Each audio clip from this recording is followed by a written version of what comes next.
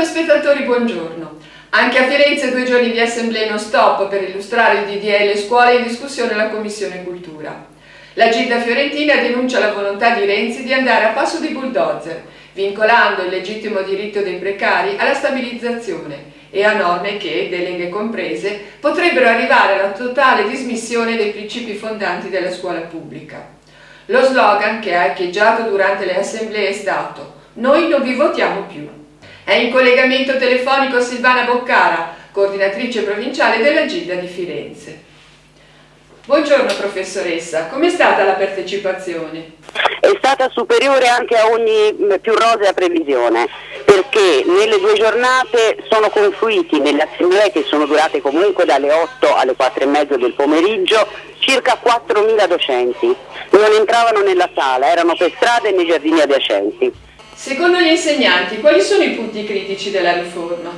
Allora, se vogliamo sintetizzarli, quello che li attraversa tutti è questa esagerata centralità, discrezionalità del dirigente, con lo scandalo che opera nella cosa pubblica con maggiori poteri di un amministratore delegato senza avere rischio di impresa.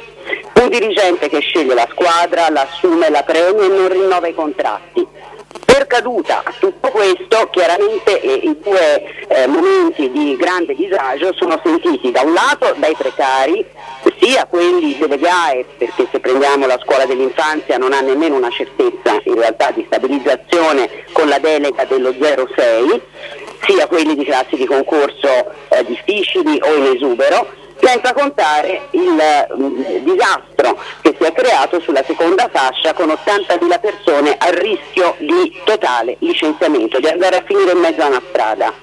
Quindi questi sono ovviamente eh, i, i, punti più importanti, ma anche il, ehm, il merito, la valutazione, eh, il, il, fatto che il dirigente scolastico entri addirittura eh, nel merito delle scelte didattiche e formative, questa prospettiva di poter rimanere a lavorare solo compiacendo il dirigente ha naturalmente trasversalmente preoccupato tutti perché va a snaturare completamente quello che deve essere un contesto educativo, didattico e, e, di collaborazione, mentre invece si metteranno le persone, si rischia di mettere le persone in totale competizione l'una con l'altra.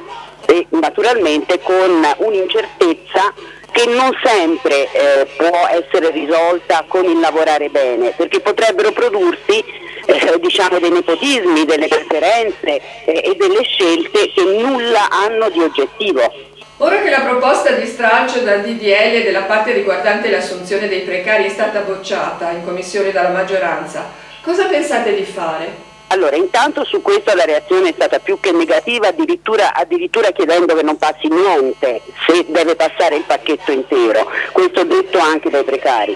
Dopo la manifestazione programmata per il 18, eh, a Firenze ma probabilmente a livello anche di Regione Toscana, si sta pensando a delle iniziative eh, di piazza, quindi non so, delle fiaccolate, una notte bianca, insomma delle iniziative che coinvolgano quindi tutto il personale della scuola e non solo, perché anche eh, i comitati dei genitori si unirebbero. In più le, anche le altre segreterie visto anche la richiesta della base forte e, e, e univoca, eh, vorrebbero andare a uno sciopero unitario della scuola.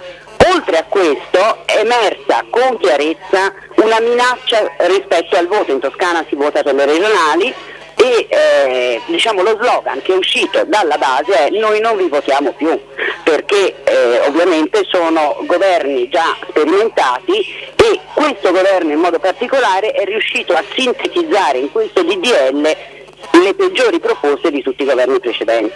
Insomma, una rivolta degli insegnanti. Una vera e propria rivolta che ancora sta nascendo e, e quindi dobbiamo vederla ancora deflagrare.